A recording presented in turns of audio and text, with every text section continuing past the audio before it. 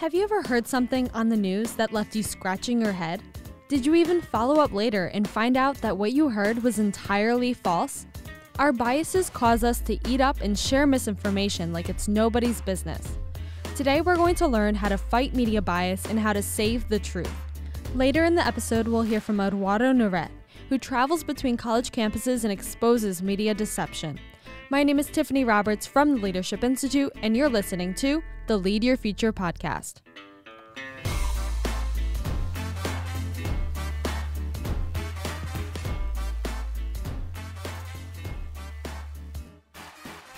Do you want to fight liberal bias on your campus? Have you or your friends witnessed it at school?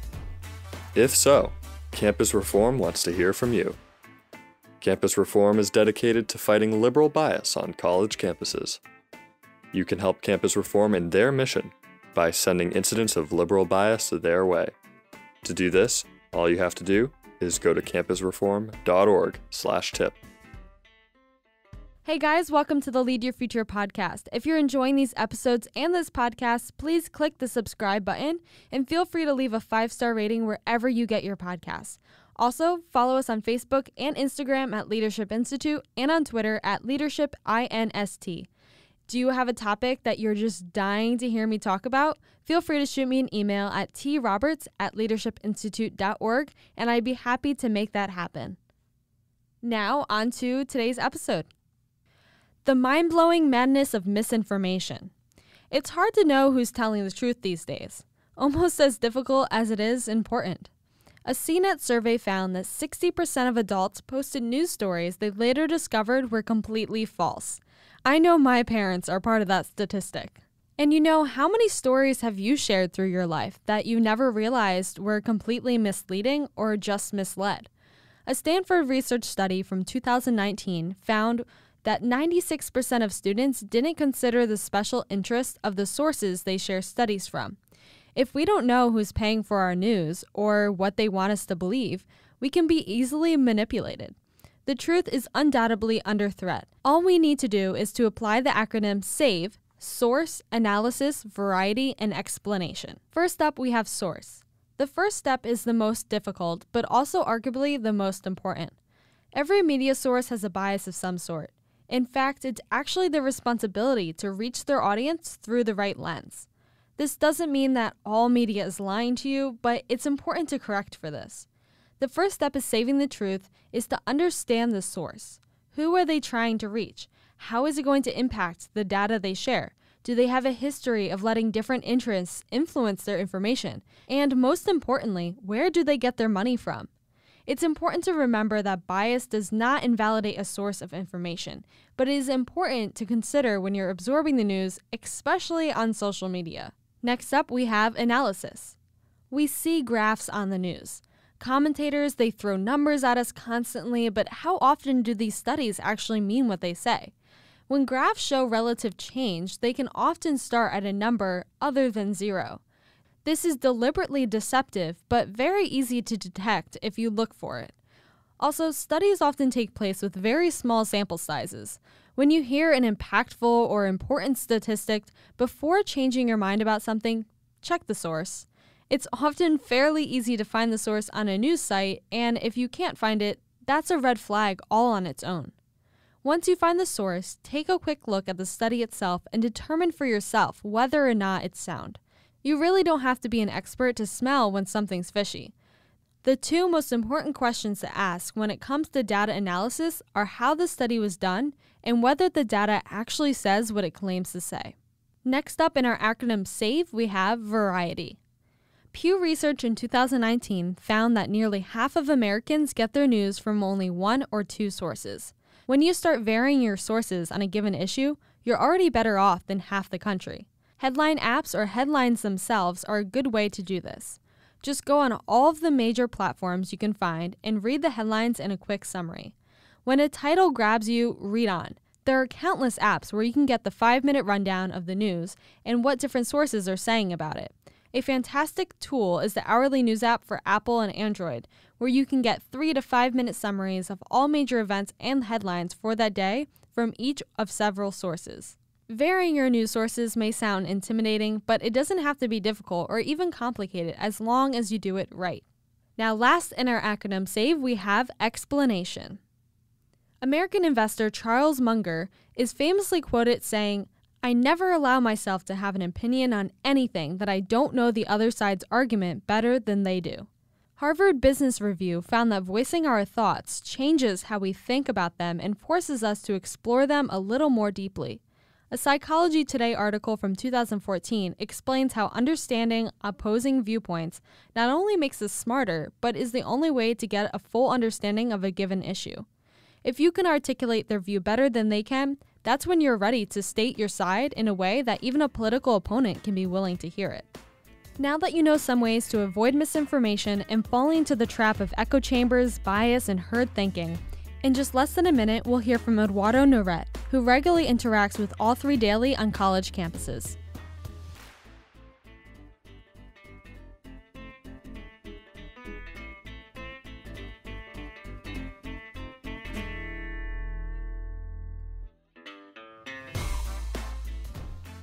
on the horizon. Do you see it? That's the digital future coming towards us. Whether you fear it or embrace it, there's no escaping it. But LI can help you prepare to take hold of it and make it your own. Whether it's creation, analytics, communication, or strategy, the Leadership Institute can equip you for the road ahead. Go to leadershipinstitute.org forward slash training and click digital. Again, that's leadershipinstitute.org forward slash training and click digital. The only difference between being left behind and leading the way is being ready. And welcome back, everybody. I'm now here with Eduardo Naret. Eduardo, thank you so much for joining me. And thanks for having me on. So, could you just kind of give everybody a quick rundown of what you do at uh, Campus Reform and how you guys are connected to the Leadership Institute? Yeah, so I'm a digital reporter over at Campus Reform. We're one of the many projects of the Leadership Institute. And so my role there, which, you know, coincidentally has been a little tough during the coronavirus pandemic, is to go out and film man on the street videos, go on college campuses, talk to students and talk to them about, you know, things that are in current events, things that everyone is talking about right now during the news cycle. So that's my primary role. You know, I create those videos. I also encourage our correspondents and I try to get them prepared to go film videos of their own on their own campuses. Uh, and then I also touch on some of our other digital content. You know, if something's up on the YouTube channel, I probably had a role in doing that. Uh, and then, you know, everyone who's listening may know Cabot Phillips, who is our editor in chief, you know, the main spokesperson, if you will, for the outlet. I occasionally do that as well sometimes. Sometimes I'll go on air to talk about some of the videos I've made, talk about some of our stories on the news site, and, and help contribute to the reporting we do on liberal bias and abuse. So that's my role at Campus Reform. And, uh, uh, we've been working as hard as ever during the pandemic to kind of uncover what's been going on in these campuses, even though they are shut down. Oh, I'm sure it's definitely not easy.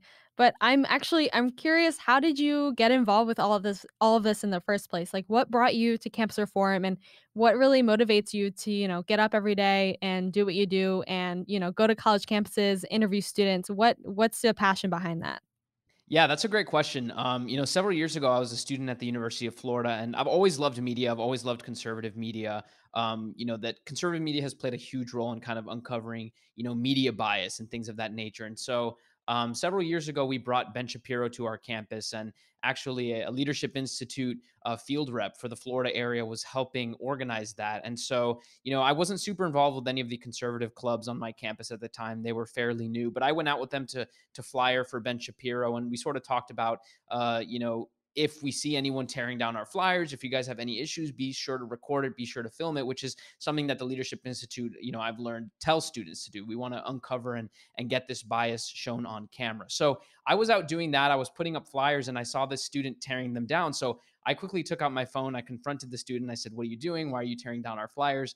Um, and that ended up sort of get going, you know, slightly viral. It was covered on the Daily Wire, Ben Shapiro's website, and uh, Hannah Weeks, who was the Leadership Institute uh, Florida field rep at the time, encouraged me to send that over to Campus Reform so they could write a story on it. And so that was my my first connection with Campus Reform. And then after that, uh, in a similar way to what we do with students right now, was you know someone reached out to me. They said, "Hey, we think you'd be a great campus correspondent to report on what's happening at the University of Florida, what's happening in the rest of the state with regards to higher education abuse." So I got involved there, wrote as a student um, through the rest of my years in college. It was it was a great opportunity, a great gig, and I never really thought campus reform would be somewhere I ended up right when I graduated. Uh, I graduated um, you know, at the time, and I remember reaching out to a number of conservative outlets. Even at the time, campus reform, I, I don't recall them hiring, and so it's pretty funny way uh, the, the way things work out. I guess I, I had started a new job um, coming out of school, and a few weeks into the job, uh, Lawrence Jones, who was Campus Reform's former editor in chief, gave me a call, and he said, "Hey, you know, what, what are you doing right now? I know you kind of told me you were on the job hunt. We actually."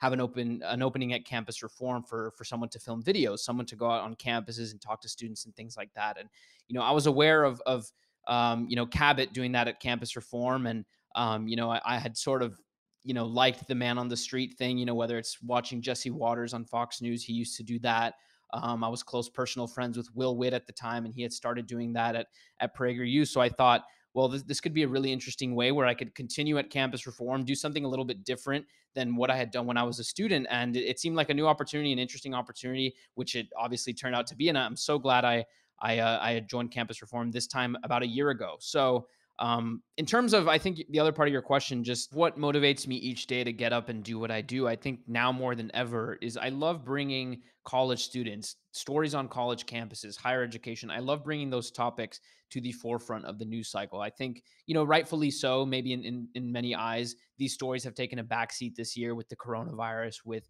the economy, with the election being, you know, considered more important issues. But I, I like every opportunity I can to bring, again, the college students and, and Uh, you know college and university life in general back into into the news cycle because in many ways college campuses are a microcosm of the rest of society. So seeing what college students think asking them what they think what they know seeing what their opinions are is a reflection of what the next generation is going to be like. It is a reflection of what the next 2 years 3 years will be like possibly down the road. And so if we ignore that we're ignoring i think the tides of the way the country's turning. You know as an example, some of the stuff we saw this summer, um, you know, tearing down these statues, going after our founding fathers, that was new to a lot of people because I don't think they had seen how widespread it was on college campuses. But the reality is, this has been uh, happening on college campuses for three or four years, and we've been on that story. And so, uh, you know, many times, you know, if, if we can show a story, show how it's evolving, show what college students are doing, I think more times than not, you look at that and you look maybe six months, a year, two years down the line, and what was happening on a campus is then spilling over into the rest of society. So that's what I enjoy doing. That's why I enjoy doing it because I think it's an important topic, an important aspect that I, I think people don't want to miss and they shouldn't want to miss. Yeah, no, that's a really good point, and I think it, it's kind of it's kind of sad how it works. It's usually it's usually too late until people realize like, oh wow, like there's actually an issue on college campuses because by that time they're hearing about it, it's already a giant issue. Like right now, it's all over Fox, all over CNN, it's all over these major outlets, Yeah. and that's that's an issue. But luckily, campus reform is there to expose that earlier and show people what what's really happening. Well, and something too about what we do at Campus Reform, which I don't think, um, you know, gets enough credit all the time, is is our desire and our willingness to have a conversation with these students and change their minds. So it's it's no secret that a majority of college students in this country lean left and are liberal. You know, the polling shows that, our videos show that, our stories show that.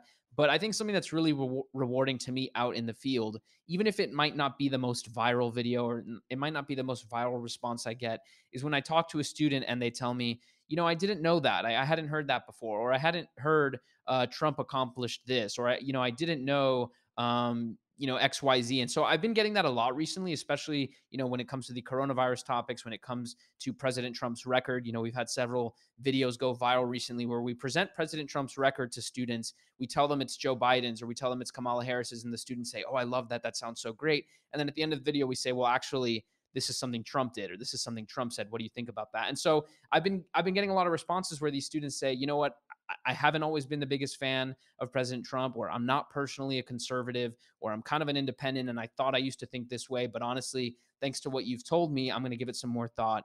I'm going to do some more research. And so that's that's something very rewarding that I think all of us have experienced at campus reform and that is ultimately the end goal. You know, we're trying to expose liberal bias and abuse on campus and the hope is that that exposure uh, exposing it you know shedding some sunlight on it will change some minds Exactly. So, what do you think is the biggest problem on college campuses? Is it the misinformation? Is, is it people being told not to like Trump just because everybody else doesn't like Trump? What is the biggest problem on college campuses? It's a lot of those things. It's all of those things. Um, you know, obviously, I think the first thing that comes to people's mind is the administrations and the professors. They're uh, so extremely biased. You know, you look at the studies. We covered one earlier this year where uh, college professors donated to Democrats from a ratio of 95 to 1. So, you know, when you have that influence on a college campus, when these are the people teaching our students, um, you know what side of the argument you're going to get. And, and when that's inundated, when they don't even get a glimpse of the opposite side, it's very easy for them. It's the lazy thing to do to say, well, if my professor is saying something, it must be true. Or if my friends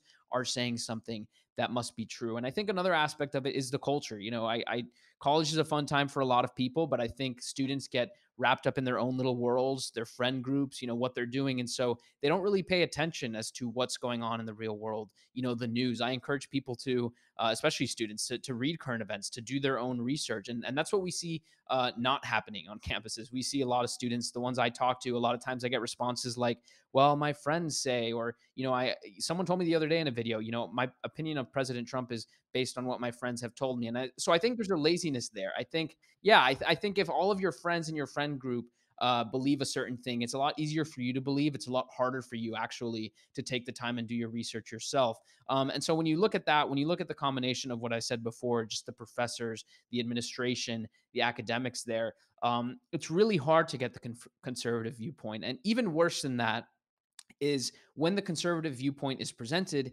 it's shut down. So, you know, we've seen a couple of professors uh, during the coronavirus, sadly, doing these Zoom classes who have been canceled.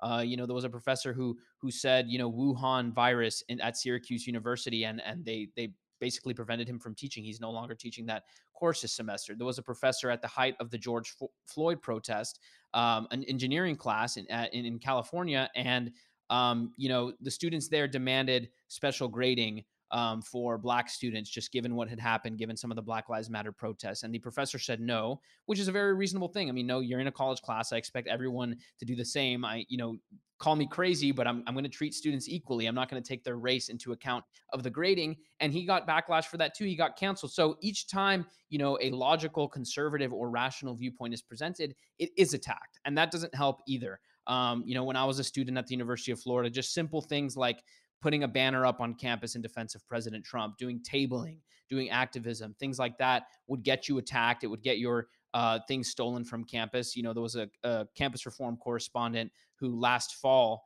um, you know, was tabling and he had an All Lives Matter sign. And so he got attacked and assaulted as well. So it doesn't help. You know, one thing is to have the professors and the administrations be so far left.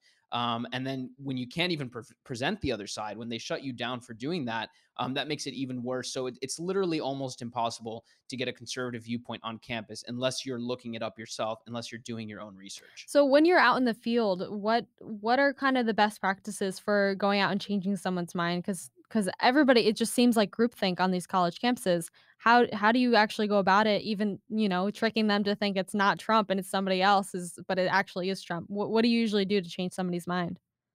Yeah, I have to go out there with a good attitude. You know, obviously, sometimes what plays well on YouTube and what will help us get, you know, media coverage is kind of these videos where you own the libs or, you know, own the the ignorant college student, which it, it's it's important, I think, to do that every once in a while because you do have to challenge some of their crazy notions. You know, I, I did a video last fall when the Trump administration killed uh, Qasem Soleimani, the Iranian general who is considered one of the world's worst terrorists. And so I went on a campus and I asked students about that, and they were saying, you know, the fact that Trump killed him was a bad thing, killing is wrong. You know, they, they lamented the fact that we killed this terrorist. And th- so in those situations, I do have to push back. I have to be a little tough and say, you know, do you know how ridiculous uh, you sound? You know, you know how ridiculous this is that you're defending this. So you you have to do a little bit of that every once in a while. But I think more generally, more broadly, um, you do have to kind of try to get at the students level. You have to try to see where I have to try to see where they're coming from if I want them to see where I'm coming from. And so uh, it's been hard wearing a mask in these videos. But before, what I used to do is I, I,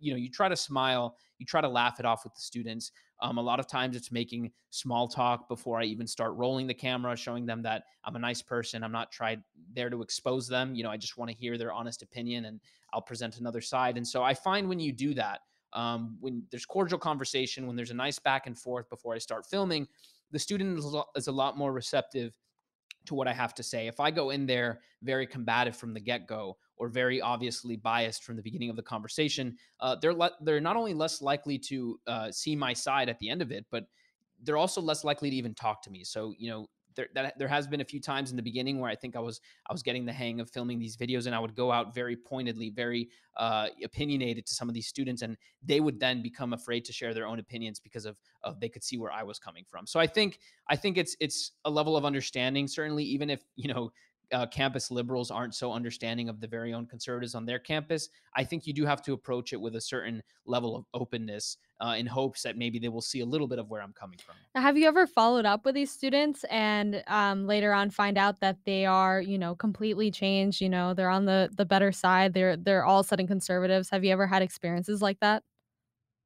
Um, you know, I've never you know received a message or bumped into a student like that again I, I, think that would be great if i ever did and it's not to say that it hasn't happened but there have been a couple instances where um, i've had some really deep conversations with some students after the fact where um, I, and i think you know I, I, know i already said it but sort of back to those examples about president trump's record I, I have had some students when the filming is done say you know what? I, I really didn't know that. I'm going to look it up to see if it's true and if you're telling me that, I, I, do have to say I would look at Trump more favorably, or I would look at this issue more favorably. And so I think that's the best you can hope for. Um, I would love to kind of see if there was a way to find the people that have interviewed before and see if their minds had changed at all. Um, I can't I can't say that all of them will have as as persuasive as I'd like to think I am, but um, but no, I mean when I when I do get that feedback, when I do hear that, I think it's it's great, and I think I, I really hope that they do leave our conversations and do do their own research and, and look it up and whatnot. And so, uh, what advice do you have for students that you know? You you mentioned that student that just said like, "Oh, I believe this because my friends believe this." What what advice do you have for students who want to learn more and they want to do that research? You know, what type of news sources should they be using? Should they stop using Twitter? What advice do you have for them? Oh my God, yeah. I absolutely do not use Twitter for your news. Um, as an example, I, I was doing a video on the post office a few weeks ago, um, and there's been this conspiracy theory floating around online and on some cable news outlets that Trump is picking up post office boxes and he's he's removing the blue boxes from your neighborhood so you can't vote by mail. And a student told me that, and I, I said, "Really, where'd you hear that?" And she said, "I saw that on Twitter." and I kind of gave her a look, and and then she followed up and she said, "Maybe I shouldn't get my news there." And I said, "Yeah, maybe you shouldn't," in, in a joking way. And uh, so that's number one. I mean, you're right on there. And then the other part of it, I do think it's a bit hard. I, I think it's a bit hard, you know, when you're all of your friends on campus think a certain way and you're starting to think the other way. I would say, you know, if your friends can't accept you for the political views you have, maybe they're not your friends. Um, I get that college students can be very, um, you know, difficult in in trying to accept someone who who thinks differently from them. Maybe it's something they should learn. But I would say, you know, where should you go? You know, what what attitude should you take? Um, I would go to whatever in your mind you thought of was was something you totally disagreed with before and give it a chance. So if you're a college student and you've always had a negative view of Fox News or or Ben Shapiro and and I say Ben Shapiro because you know usually when I talk to students there was a student yesterday who approached me on a campus and he said, "Hey, I, have seen your videos," and I, I, was talking to him. I said, "So where'd you get your political awakening? I mean, did you know, did this happen for you in college? And he said, yeah, I started becoming conservative about a year ago and I watched Ben Shapiro videos. And that's that's something I hear a lot. A lot of younger people say he's the one who kind of lets them open their eyes to this. Um, and so that's that's what I would recommend. I mean, whoever they've had a certain bias against in the past, whether it's Fox News, any conservative news outlet, maybe a politician, maybe even Trump, I would start there and, and do as much research as you can. You know, if you do hate Fox or if you've if you've thought that Fox was this super biased place in the fact, turn it on, you know, for a few hours a day. Um, see if you really disagree with what they're saying. I do that occasionally. I'll turn on CNN, I'll turn on MSNBC because I like to hear what the other side is saying. Um, and so I think that's a good start for students. Um, but I, I, see the challenge there. I think there is a challenge with students who are starting to open up to different viewpoints. I think there is a real fear in wanting to share their other viewpoints. I think there's a real fear in wanting to have a conversation with their peers because not only do they just get uh, you know labeled as as a conservative and, and they get shut down but now we're seeing such extremes on college campuses these days where you know you're being labeled a racist you're being labeled a sexist you're being labeled all these isms and all these ists that uh, it's very challenging for someone to want to take that viewpoint so i guess general advice i would say go to other news sources try to read both sides and develop your opinions um, be an independent thinker. That's a really cheesy thing I think we hear a lot, but um, you know, if everyone is thinking a certain way and telling you to think that way, at least that's always in my nature to have been you know, I, I, usually take a step back and say, well, why is everyone telling me to think like this? Uh, sometimes it's about being a contrarian just to to see what it's about, just to oppose, just to to kind of give it some thought. And so um, I would definitely tell college students if there's an issue out there that everyone is telling them they have to have a certain view on, if their professors, their friends are telling them you must think this way, I would encourage them to take a step back to really think about the issue at hand, regardless of what other people are saying, and ask yourself, do you believe in it or not? Um, do your own research and arrive at your own conclusions, arrive at your own uh, answers you know with your information with your thoughts don't let other people influence you. Exactly. And now you got your start in college and uh, i've had a similar experiences um, as you um, on my own college campus having experiences of you know being an activist and having people fight back and having i've even had articles written about me on campus reform which is awesome um, and i didn't even know i was going to work with campus reform later on but you got your start in college and um, i'm here now at leadership institute where do where do students go if they want to be that you know commentator? They want to be that person who gets in front of the camera. They want to be that person who writes those articles about those experiences they're having on campus. Where do they go? What resources are out there? How do they get involved with campus reform?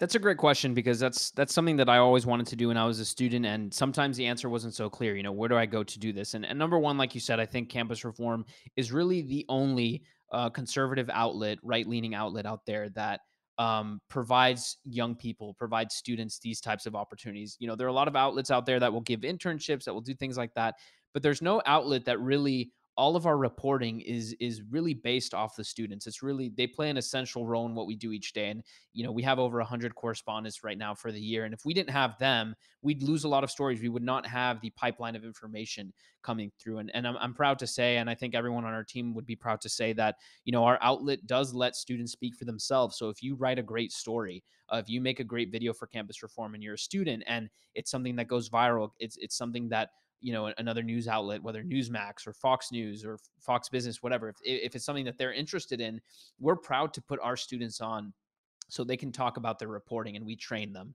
Um, outside of that i would say a lot of feedback and advice i've gotten over the years from different people is is to just you know in, in the age of social media with instagram youtube anyone can go viral.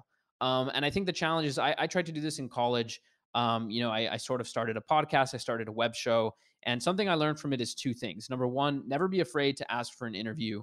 Um, the go-getters, the people who are who are unashamed of, of going up to someone, no matter how famous they are, and asking for an interview, you will get rewarded. So I, I had the opportunity to interview people like Ben Shapiro, like Kayleigh McEnany, um, you know, Ann Coulter, all of these people in college, just because I, I reached out. I, I looked I looked up their emails, I messaged them on social media, um, people like Dave Rubin, stuff like that. And, and a lot of these people in the conservative movement who have these platforms they're very understanding of who their fan base is. They know that they're supported by a lot of younger people and students and so i think if you tell them hey you know i have this show i, I really want to interview you i, I think it, it'd be a great opportunity something like that i think more often than not you'll find that many of them are willing.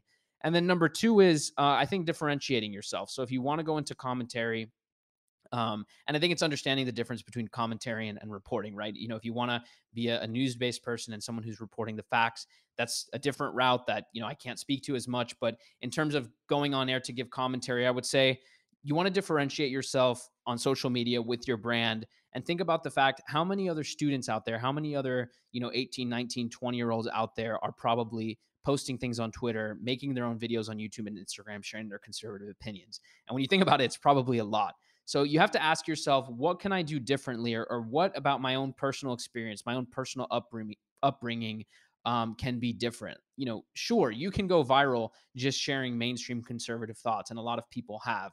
But I think it's a lot more difficult. I think everyone's doing it. You have to give people a reason to say, uh, you know, why am I going to listen to Tiffany? Why am I going to watch Tiffany's podcast? Why am I going to listen to uh, Eduardo? What, what does Eduardo have to say that is different from what everyone else his age is saying?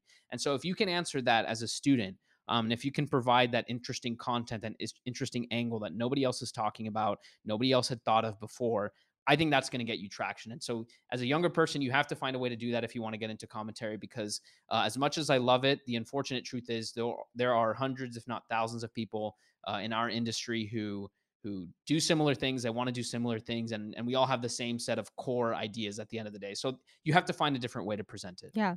Th- Thank you so much, Eduardo. That's all the time I have uh, for today, but I appreciate your willingness to not only create viral viral videos, but also to change people's mind because that's what that's honestly what's so important and will, you know, win us the next election. Thank you so much for having me. One last thing I want to say is any student out there, whether you think you're you're born to be a journalist, a reporter, a commentator or not, campus reform will train you. The Leadership Institute will train you. Um, we've we've taught people like myself who I, I had no journalism background. I, I did not study journalism and and we've turned them into people who are capable of reporting on some of the most important stories on our campuses. So if this is something that in the least interests you a little bit, you know, you know where to find us, Campus Reform uh, and the Leadership Institute.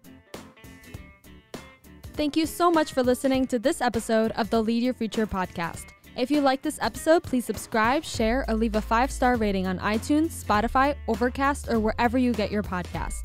It is the Leadership Institute's mission to increase the number and effectiveness of conservative activists and leaders in the public policy process. That's why I bring you on camera TV trainings, public speaking workshops, debate workshops, speech writing workshops, and so many more. If you're interested in taking one of these trainings, feel free to check out our website at leadershipinstitute.org forward slash training.